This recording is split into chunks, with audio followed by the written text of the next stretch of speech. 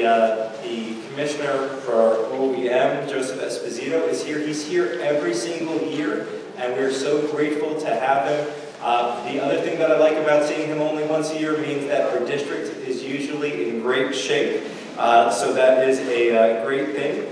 We do this every year in September. Anyone know why we do it in September?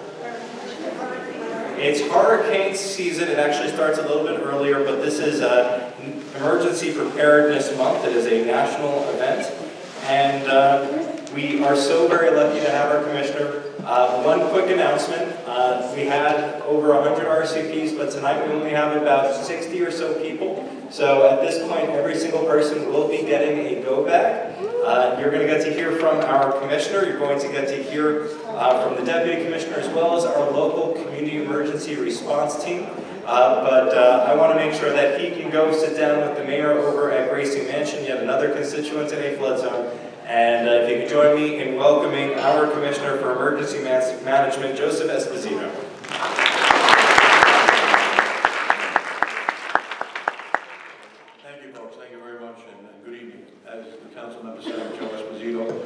Commissioner for New York City Emergency Management, and I'm very happy to be uh, with you here tonight. I'd like to thank Rockefeller University. We have Rockefeller.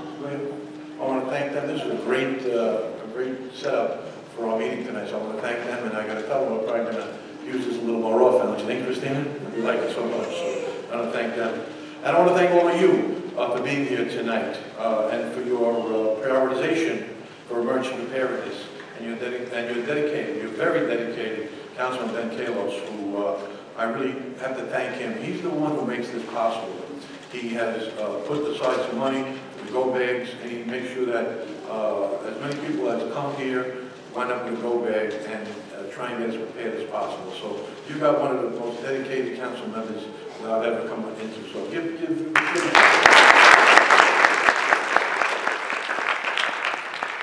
we also have some of our CERT members here tonight. CERT members, raise your hands. Who's here? Great, great. We have a, a number of CERT. CERT is a volunteer group. Uh, we, we train them, uh, emergency management trainers in PPFD, EMS. We train them in uh, basic life support, firefighting, uh, disaster recovery, uh, crowd control. Uh, they get paid nothing. All they get are those lovely uniforms that he's wearing right there. Thank you very much. Well, we have members from the uh, Upper East Side CERT here, the East Side Neighborhood Association CERT, East Harlem CERT, and the Roosevelt Avenue CERT uh, team. They're all here tonight, members of them. And I encourage you, if you have an urge to, to uh, help your communities, folks are trained and they go back to the communities they live in. And they're there to uh, volunteer if something happens, any kind of emergency. So you have that type of desire to help uh, one another, I encourage you to talk with certain members afterwards and maybe become a member. It's a great, great program. And we see, very good. Very good.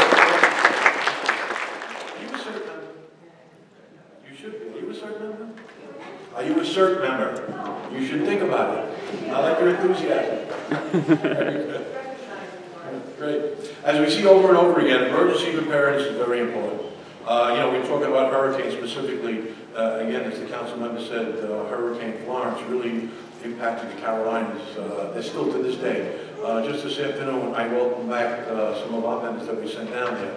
During the course of Hurricane Florence, we sent over 100 members of the U.S. Search and Rescue Team. It's a FEMA-funded group Uh, They have 28 of them around the country, and we was designated, we sent 100 members down to work in the Carolinas, and they were there for the last two weeks, and the last group just came back today. And uh, there was a lot of devastation down there, as the as the council member said, Uh, flash flooding, people would go to bed at night and be dry, wake up in the morning, and their first floor was full of water. So uh, it's important to be prepared, it really is.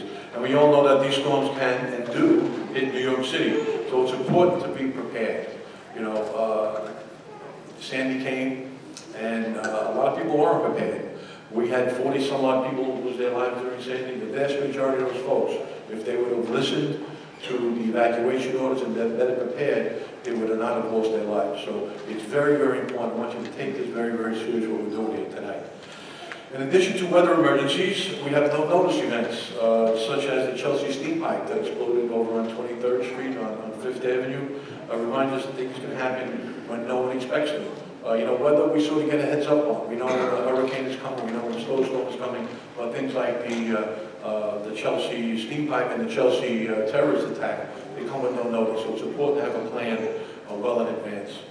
Emergency preparedness is not rocket science. It really comes down to, you know, some three basic elements. It's, it's know your zone, if, if you talk about hurricanes, it's have a plan and stay informed.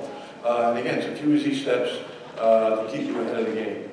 Uh, again, now we have, uh, people in the back that have, uh, and I see somebody's already reading them, uh, pamphlets on how to make a plan specific for your family, very, very important. And, uh, we're gonna talk you through that later on, uh, today during the presentation. Um, Also, please sign up to Notify NYC. This is a, a program where you'll get notified, uh, by either you go to nyc.gov or call 311, or you can follow us on Twitter. It gives you citywide information, current information on what's going on in the city, as well as information specific to your neighborhood, areas that you want to get information on, or other areas maybe where a relative or a friend lives. You can punch in other neighborhoods also and find out what's happening.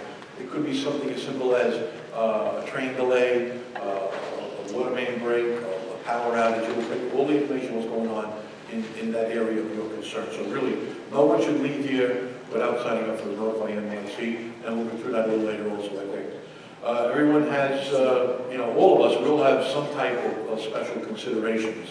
Uh, If you have mobility issues, if you take medication, uh, you take care of maybe an an elderly or a sick relative or neighbor, or you have young children, you have to make sure you have planned in advance so that you can meet these challenges. Very, very important, and we talk about a plan in advance. You want to be able to say, when an incident happens, you want to be able to say, I know what to do, not what do I do. Very important. If you listen to this presentation and make some plans, you will know what to do in an emergency. Preparedness starts with all of you, but New York City Emergency Management, our partners with the PD and the FD, other city agencies, and your local elected officials, like, like this dedicated gentleman just did, we stand ready to assist you and make sure you have the resources you need. Uh, now, I'm going to introduce uh, Deputy Commissioner of External Affairs, Christina Farrell. She's going to give you a brief presentation. Are you going to show the the videos, the the two videos? No? Okay, she'll give you a brief presentation, then we'll take some questions, and we'll follow it up by distributing the go bags. And again, I want to uh, I want to thank the Rockefeller University, but especially I want to, I want to thank your council member, because he made this event possible by donating some of his uh, discretionary funds to get these bags out to you folks. So you have a dedicated uh, leader right here, so again, Councilman.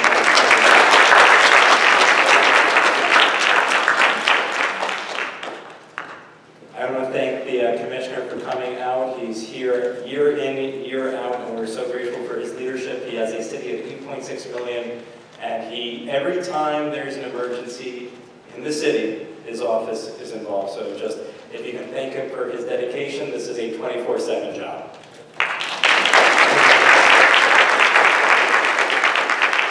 I wanted to take a moment to also thank Rockefeller University, uh, all of the CERT volunteers from all of the four CERTs that I have in my district. Uh, this started when uh, the Roosevelt Island CERT team reached out and said, could we combine this and use this as a recruiting opportunity? And this is our first time doing it here with ESNA CERT. And I also want to thank, uh, in particular, the East 60 Neighborhood Association. We have uh, Judy Schneider here this evening. And neighborhood can just be a, a community.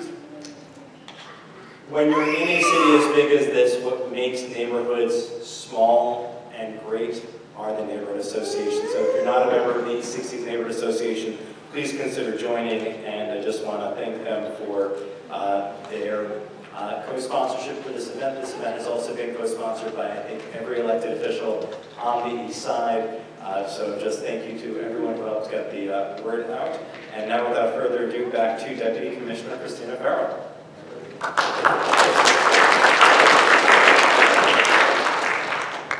Thank you. I'm not that tall. Not that tall, so I'm going to put that down for a minute so I can see everybody. Uh, So thank you for coming out and thank you for listening. Um, I think I'm between you and your go bags. Uh, So I'm going to go through the slides. A lot of the materials, like the commissioner and the councilman said, are in the brochures and the guides that we gave you, but we just wanted to go through things a little bit.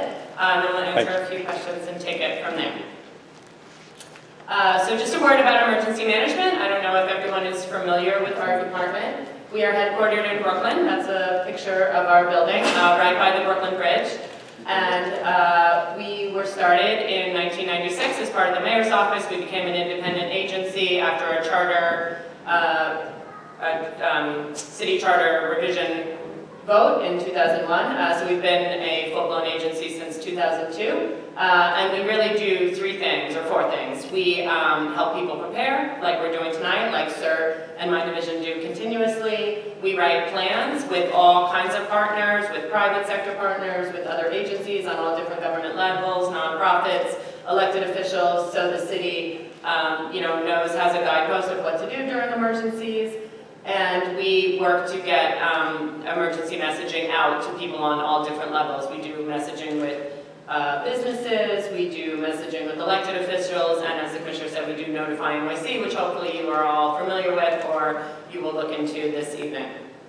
We're about 240 people, which is really huge for emergency management. Clearly in a city like New York and some of the operational agencies we work with, we're pretty small, um, but you know, I think we get the job done. Uh, So this is the main reason we're here tonight, to talk about um, personal preparedness, uh, family preparedness. These are really our uh, three steps that we encourage people to do. One is to make a plan. Uh, I know the CERT volunteers, when you were coming in, were talking about it. If you picked up the guide that says My Emergency Plan on the front, um, that really is a plan waiting to happen. You can go through that uh, with your loved ones or your family or your friends, and you can write, if you go through and fill it out, you can also fill it in online or on our app. Um, and that'll help guide you through what an emergency plan is. Do I live in an evacuation zone? Do I have special needs? Uh, what, what are my transportation options if public transportation is down, which we've seen happen several times over the last few years. Uh, so that'll really walk you through steps, maybe some things you haven't thought of. Um, and if you have uh, people that you care for or um, people that you can help once you've put your plan in place, it's always a good idea to reach out and see if you can help them.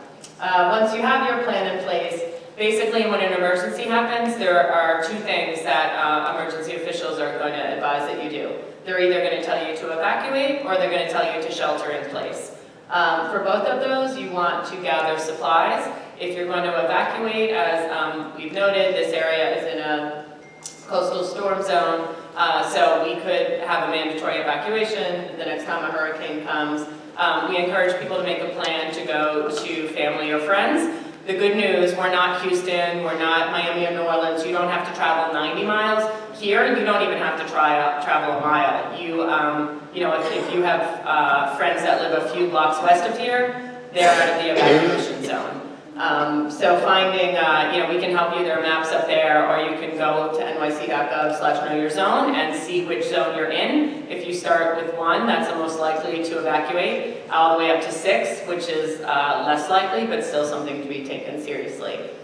Uh, so when you evacuate, we encourage people to gather some supplies. You're well on your way, because you're all going to receive a go bag tonight. You might want to put in some personal items, an extra pair of reading glasses, copy of your prescription, um, you know, if you have special dietary needs, those kind of things. But you also want to have some supplies ready at your house or your apartment. Um, you know, sometimes you see guidance from the federal government or others to have a gallon of water per person per day. that may not be realistic. Uh, if you're living in a studio apartment or a one bedroom, you know, these plans should be customized. You should do what works for you. But as we've seen, um, you know, a lot of Manhattan just south of here was not ordered to evacuate during Sandy, but they lost power for several days. You know, they may have been living on a higher floor of a building, um, they may have had people with special needs, had children, pets, so you want to gather some supplies. If there's a power outage, um, if your heat goes out, you probably don't want to be um, rummaging around your house trying to find, you know, things that you might be able to use since uh, the power is out or since, um, you know, the stores aren't open, those kind of things. Then the last thing that we encourage people to do is to stay informed.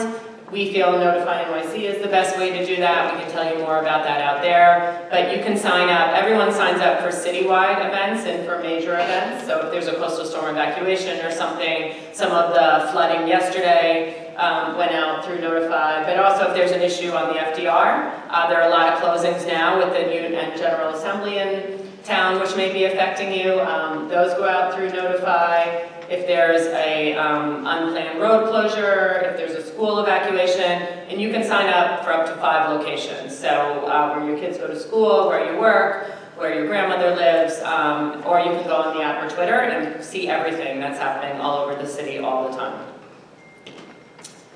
Uh, so this is a little more about what I just mentioned, um, you know, the different parts of, of your plan and the different steps that you want to take. Um, and this is uh, the go bag. And you know, really the important thing is to take the bag tonight, to go home, to think about what you would need. Um, copies of your insurance, of your passport or your license, documents like that. So if you do, if you're not able to go to family and friends, uh, the city will definitely open shelters. These are usually in public schools. Um, so they're safe, they're clean, they're well supplied. They could be two, three, four hundred people sleeping in a gym, you know, eating in a cafeteria, so probably not the most comfortable place you've ever been. Um, so, you know, you really want to think about are there alternatives, but if uh, you do need to go to a city shelter, the shelters are there and they'll be ready for you.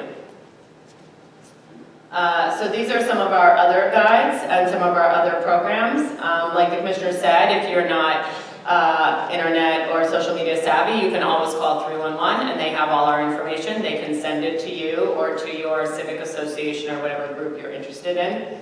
Um, we do put a lot of information out on social media.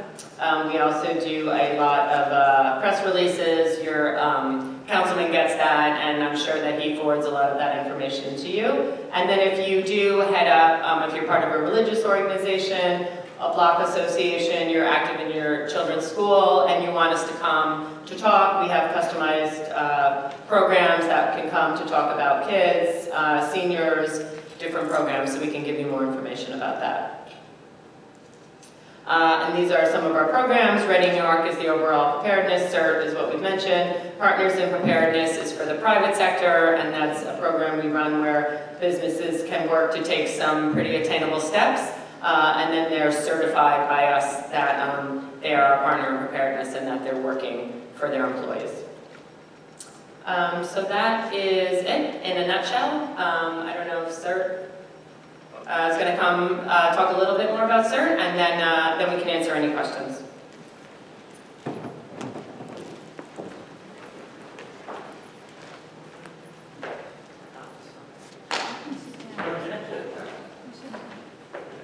Good evening. My name is Jay Schofield. Um, I have been a CERT member for 15 years. Uh, I've been, I am team chief and a member of one of the local three teams in this community work. Uh, I'd like to thank Ben, the commissioner. and- oh. Sorry, sorry, I'm not the public speaker, so I'm not used to this. Um, If this was an an event, I'd be directing you on a very strong voice, um, and that's what I'm used to. Uh, I'm not used to public speaking. Um, I'm Jay Schofield. I am a CERT member for 15 years, been working with uh, Councilman Ben Ca- uh, Kallos for 11 years now at different events such as this.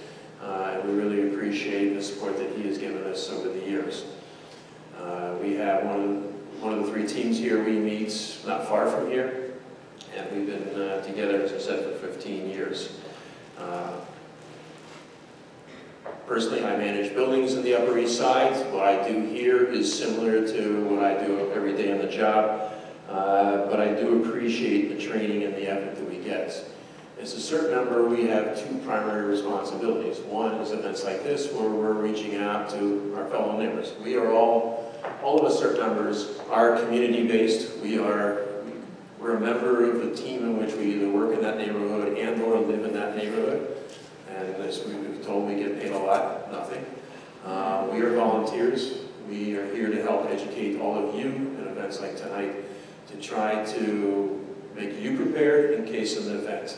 Hopefully, nothing ever happens, but we know we've had hurricanes. We had, in this neighborhood, we've had two train, two crane collapses, the Cory Lidle uh, plane crash. Uh, We've had another other events that have happened in the greater New York, uh, Manhattan area. We respond to those kinds of things. Um, But I'll stay with the first thing. We go out to events to educate you, Ready New York, um, Kids Ready New York, uh, street fairs, so that you can try to make sure that you're ready in case of emergency. Uh, and It was just discussed whether you shelter in place or whether you have a go bag, that's my response bag. I also have a go bag in my office. All right, I've been doing this for 15 years, I'm probably a little on the radical side. Uh, I also have a bag at home, in which I have, if somebody gets a knock on your door, get out, and that's the idea of the go bag. You don't always get advance notice that you need to go. So the idea is that you've prepared in advance, and if you prepared, you're gonna feel a lot better about leaving, you know that you've grabbed on something, and you have what you need in there to leave. So the bag, the bag you get is a good starter, to personalize it. What's important to you if you are not gonna be home in an hour from now? So I have a little cash in there because you may, you know, in the panic, in the rush to run out of your house, you may forget your wallet. Now you don't have any cash, what are you gonna do? So I keep a little extra cash in there. In the days when we had uh, payphones, I even had a roll of quarters. Today, I don't know if you can find a payphone. Um, If you have prescriptions for medication, have your prescriptions in there. Photocopies of your important IDs, so that if you forgot your wallet again or your purse, you have your IDs, your driver's license, and things that are important to you to identify who you are, so that you can kind of maintain a normal life if you're out of your uh, residence for a period of time. Um, Small change of clothes, underwear, socks, things like that. If you're in a shelter for several days, uh, and you walk down in what you're wearing, there are a couple of days you're gonna kind of wish you could grab something a little extra. You know, outer clothes can get dirty. Inner clothes goes a long way. Uh, We try to make, and we do man, CERT does man the shelters, all the hurricane evacuation centers and the shelters. We're there 24 hours a day until the, uh, from the beginning of the opening to the closing of the shelter. Uh, We try to make it as accommodating for you as possible, what it is, mass housing. Uh, There are cots. It is not uh, the Ritz. It's not what you want, you know. You- You're sharing a large room with a large number of people. So bring what you can, even a deck of cards to entertain yourself. Something, so each one of you should personalize your, your bag that you leave here with today. And also prepare with, in case you're told, stay home. Not every event, you grab a bag and leave. Make sure you have things at home that uh, allow you to shelter in place. Always keep a couple cans of uh, canned food in the back of the uh, cabinet. Lose power, things in the refrigerator are gonna go. If you have some canned food, you're gonna have something you can eat. You know, don't run out and go, oh, I'll fix it, and then something happens, you know, I'll buy some new stuff, and something happens, and you're stuck. So, you know, I always keep, that's my emergency buy, I'll eat it, I, you know, buy some new stuff, eat the old stuff, so when I do need it, I don't look at the expiration date and go, uh, you know, too late. Uh, no, because an ambulance might not be able to get to me. Um, so, you know, make sure that you have what you need. Water, if if they're saying, we're gonna have a power outage, we're gonna lose water, fill your tub, fill containers, fill your, uh, your spaghetti pot. Put water in there before the power goes out, the water goes out, so you can, you can have some water. Flush your toilets, wash yourself up, cook a meal if we still, if you can still do that. Uh, Things like that. So the things you can do that will lower your anxiety, even if you're either told to stay there or to get out, so that you're, you're calmer, you're more relaxed, you're not panicking, trying to remember what to do. Worst time to try to think about what you have to do is when it happens. Be prepared in advance, follow the recommendations for a start, and then just add on the personal things that you need in there. Uh, That goes a long way in making you more comfortable, your friends and your family more comfortable. So if you're not prepared, your friends and family are going to worry about you also. Right? So we as CERT members make sure that our families and friends are taken care of, especially our families. I have a 12-year-old that lives in the Upper East Side. She knows what to do, she's prepared where to go, um, including if we can't go home, where I will meet her. If the cell phone service is not working, where do I meet her? Uh, You know, oh my gosh, where's my daughter? Uh, She knows that if, you know, if we can't get to the house, we have a designated uh, first point. If that's not available, in a slightly wider circle, we have a second one. And a little further away from the home, we have a third one. So that we know, I know, she knows where to meet me in case our home is not available. Also, a recommendation, 9/11, calling around the city was very tough, but you could get a long distance circuit because everybody was calling their friends a block away or in the city. Pick somebody, call my, my, you know, my sister Sally in Boston. My family knows to call her so that we can leave a message as a message board. We're okay. Um, And then, you know, oh yes, I heard from uh, your wife or my daughter, they're okay, they'll meet you at, so that you have alternate plans. Um, We do, do you want to know about bags? Okay? Go ahead. Okay. Um, We do unplanned emergencies, we call it unplanned. Hurricanes are coming up, we know they're coming. CERT runs a lot of the evacuation centers. We do respond to floods and check for for flooding during snowstorms, and blizzards. We check hydrants, things of that nature. So that we are, we are, we, those events we know in advance, we can schedule them out, we know who's going to respond, all those things. And we do also respond to the unplanned events, uh, as I've described. Uh, The crane collapses, the steam explosions, we run a lot of the reception centers, we've been to all the, all of the gas explosions that have happened over the last five, six years in New York City.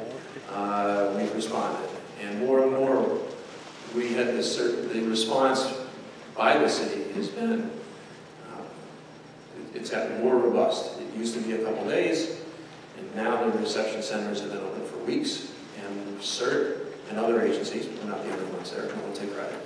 Uh, A lot of agencies are there to help the residents that have been displaced by the disaster that's there, and that's what we're part of, uh, such as greeting you here, directing you. Um, At a hurricane shelter, we'll run the reception, we'll help run the center.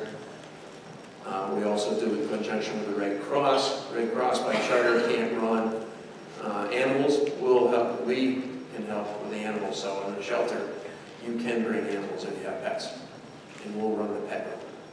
Uh, We have a room set, set aside, water, somebody to watch it, and things of that nature. Um, I was told five minutes, so I've kind of prepared for five minutes. Any questions? I have a question, I'm a CERT, and I would like you to ask, uh, I'd like to ask you, uh, possibly become a CERT, get the training. Good question. Um, At the desk up there, if you can let Orin, any one of us in a green shirt, uh, let us know that you are interested in being a member. We do typically meet about once a month. Uh, We take the summer off when we're all on holiday and going off and doing things, but we meet approximately once a month. And we try to discuss the latest, what's going on, do refresher training, to prepare our members, talk about what's going on. Uh, does a lot of training with us. We are trained by, when we initially take the training, we take a 13-week training now, used to be 15. We train for about 30 hours. We get, so we get trained in light search and rescue, medical, uh, traffic, um, crowd control, um, number of events, uh, all about the city, about the subways, all the various infrastructure we have in the city, so that we can help first responders in the city and yourselves if needed. Uh, So if you like, you're interested in doing something like that, see one of us, we'll sign up at the desk out front. Yes, ma'am. Um, my question is about throwbacks. Yes. Um, What if you have items that you bag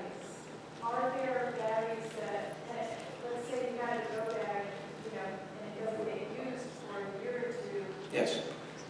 Are there batteries that last longer, stay stored in these devices, or how often do you have to check and go back to make sure that everything's still, uh, you know, Well, Like I said with the food, what I would recommend you do, if you use batteries for different things in your house, periodically go through your go bag, pull those out, use those, put fresh batteries in your bag, just like I mentioned with the food. Uh, Don't wait until you need it and find out it's past the expiration date. Rotate it uh, as part of your stock. Put fresh stuff as your reserve, use that, so same thing with batteries. Uh, And if you do, if if medication's important to you and you put any medication in your bag, use that medication when it starts to reach the end. You put fresh medication back in your bag. Could you tell us again how we know our zone? Uh, Know Your Zone, there is a map out front, and there is on the OEM website, there is a Know Your Zone uh, app that will, you can pull up. NYC.gov slash know your zone.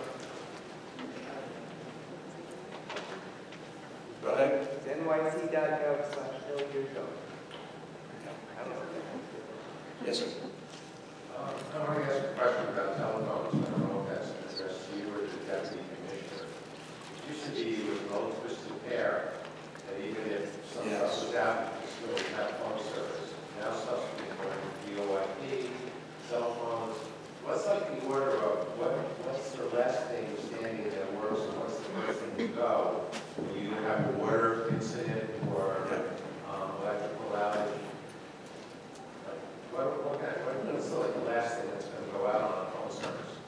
Um, so it probably depends on the event. Uh, what's gonna happen, I mean, we do encourage people to have a landline, not a cordless phone, but a landline plugged in. That works a lot of times. Um, I don't know how many people actually do that and listen to it. Um, but I mean, you know, uh, texting will ha will work a lot of times when other things don't, but a lot of times, I mean, that might go out too. There were some parts of the city that didn't have cell service for a long time. The city and our partners, Verizon and others, have um, really beefed up the network a lot. So we feel like we're in a better spot, but one thing you learn in emergency management is the next time a hurricane comes, it's not gonna be Sandy. You know, it's, it's gonna come to a different area and do something different. Uh, we have uh, cows, which are cells on wheels, which will roll out to areas where people can get cell service. But, um, you know, for many things, probably having an old landline, like when you were growing up, uh, makes the most sense. So that's what we would encourage. I know what you're saying, yes. Uh, From the old copper lines to fiber optic now. Obviously, phone communications in the city is a priority with the utility companies, and they would make an effort to make sure those circuits are powered and working. Uh, But there's no guarantee that if, you if the event and the emergency hit that particular facility, it's going to be, they have resiliency and across our, So first, thank you for the really good question.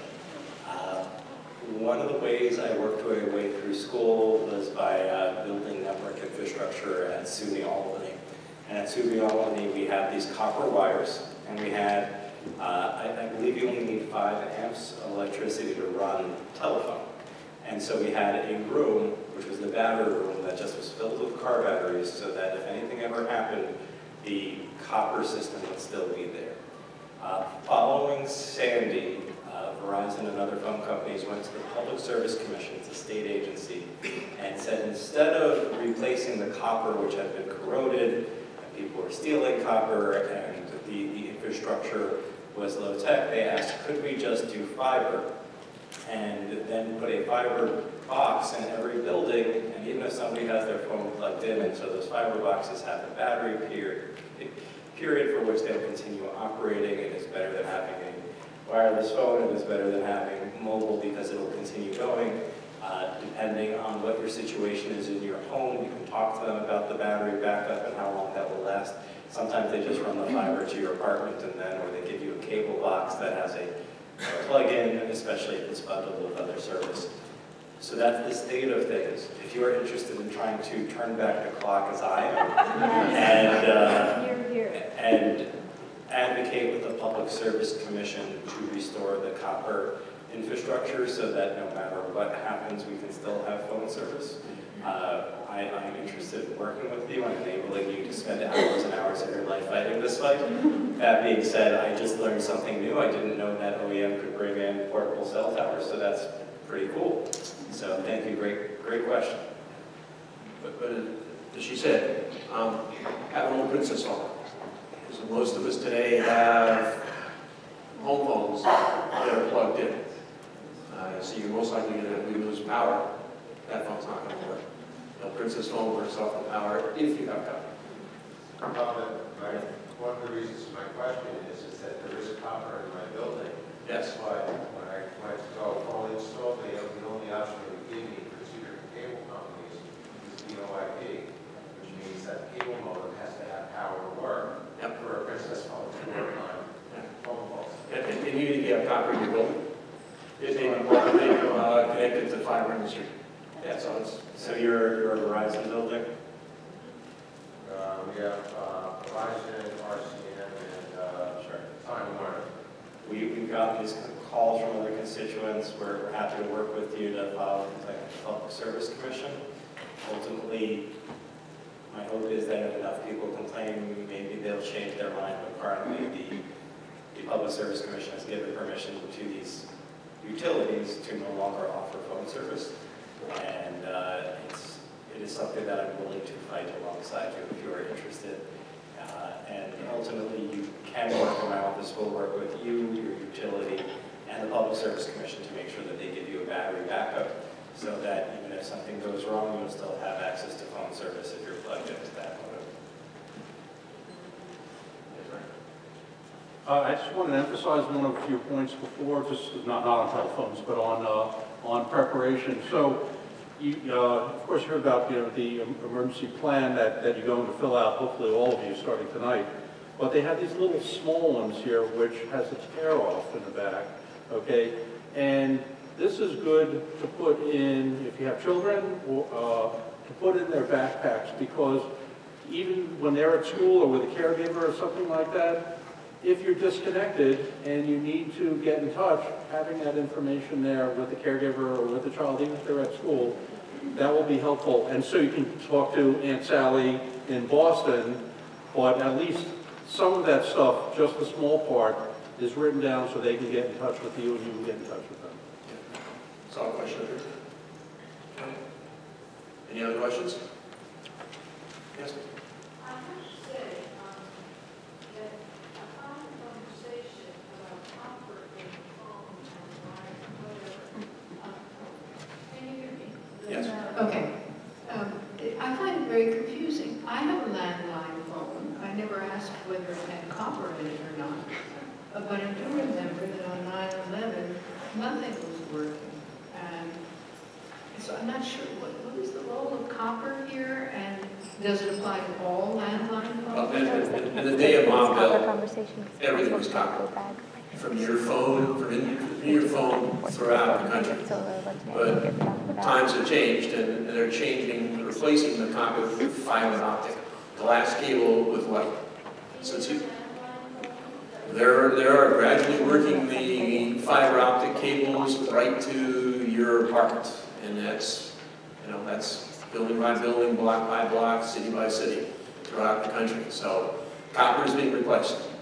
Uh, And that's, uh, that's the nature of this industry now. Okay. So anyone who's having concerns about phone service, that's a little bit outside the scope of this, so this is literally just questions about emergency management, but we're happy to help. So I see, I just see a show of hands who still has questions? I see one young lady up front. So- you know, it's on the street work, um, power up your computer or phone or anything. Um, So, I'm, I'm not a tech person, um, but as I said before, there are different emergencies, different things. The city and our partners and our elected officials, everybody is working hard to, the whole key to emergency preparedness is planning and redundancy. And so to have additional plans. Um, the kiosks outside, we now put notify NYC messages on those, so if people don't have it or you don't have your phone, it'll say you're in an evacuation zone, this is your shelter. Um, I, I mean, I can't say that they'll work in every emergency. If the entire grid goes down, if people were here 2003, um, nothing was working but radios. uh, which most people, maybe some CERT members, uh, but most people don't, you know, have, have radios that they're skilled in using. Um, so that's why you have to have multiple plans uh, and ways. I mean, hopefully some, some type of um, emergency messaging will get through. Uh, if people have got wireless emergency alerts, I know, I didn't get it yesterday, but I heard some were sent out for the flooding. Those are alerts that you didn't sign up for, but your phone starts buzzing and going off. Um, you know, we do that, but also the federal government and others do. So, I mean, every, as technology comes, there are positives, there are challenges, um, but there are more ways to become informed. Um, you know, the real challenge is, is um, for no-notice events. You know, if there were uh, some type of steam pipe explosion up here or uh, an improvised explosive device the way that uh, there was down in Chelsea a couple of years ago. For hurricanes, and especially by nature of the fact that you all came and chose to spend your night here,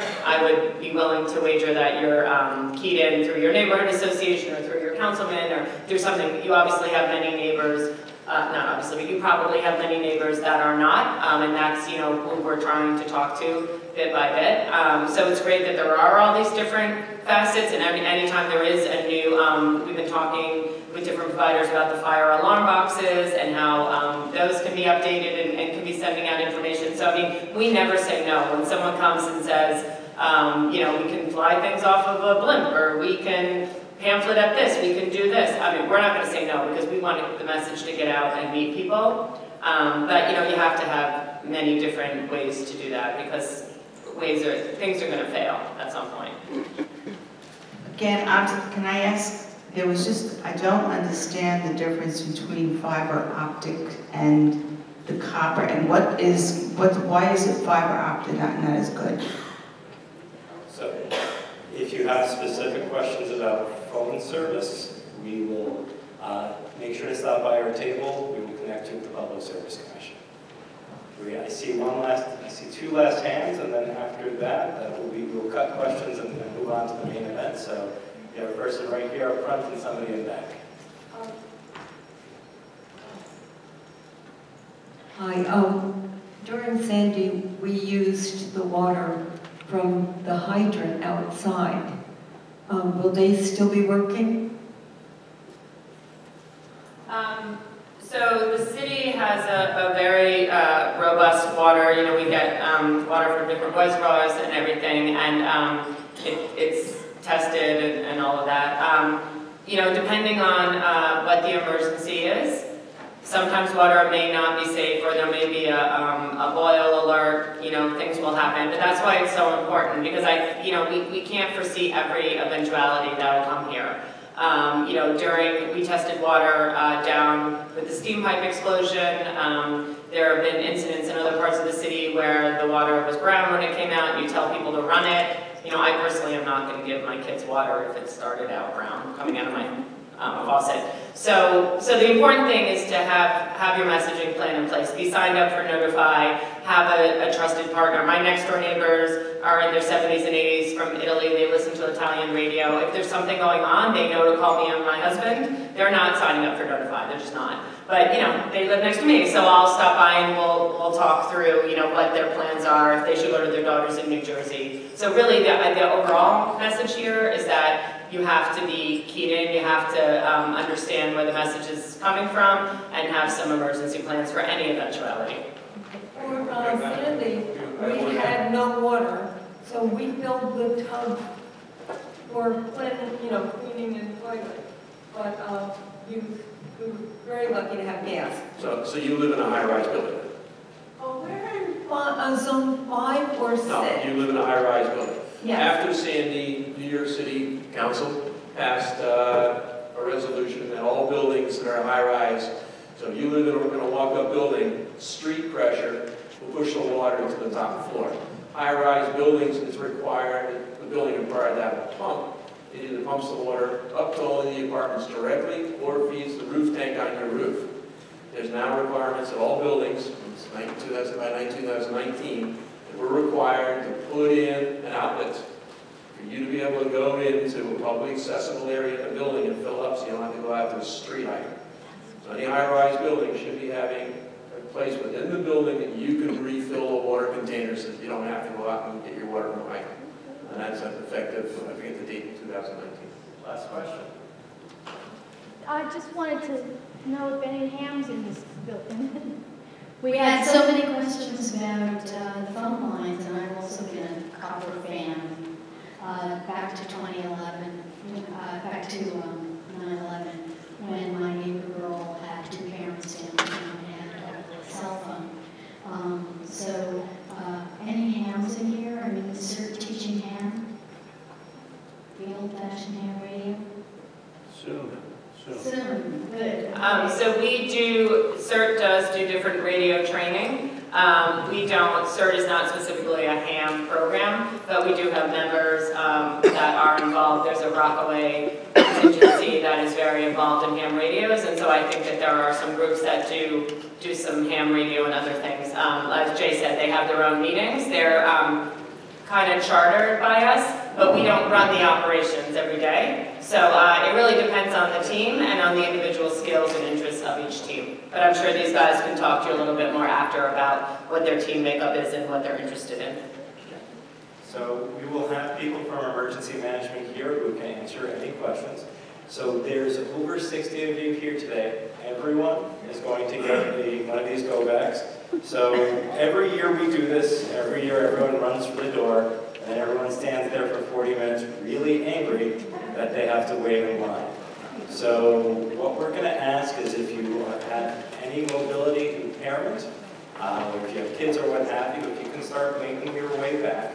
And we've got the CERT team, they're just here to ask you to just stay seated because it's a lot more comfortable to just relax. If, you're, if you have an emergency, just want to leave without the go bag, that's fine. And we're going to be asking folks to come up row by row. So we're going to ask the, the first row if you can start making your way up as well as uh, the second row. And then uh, Jesse, my chief of staff, is going to come in and call people, and I'll be meeting folks out there with the go bags. Thank you. Oh, cool.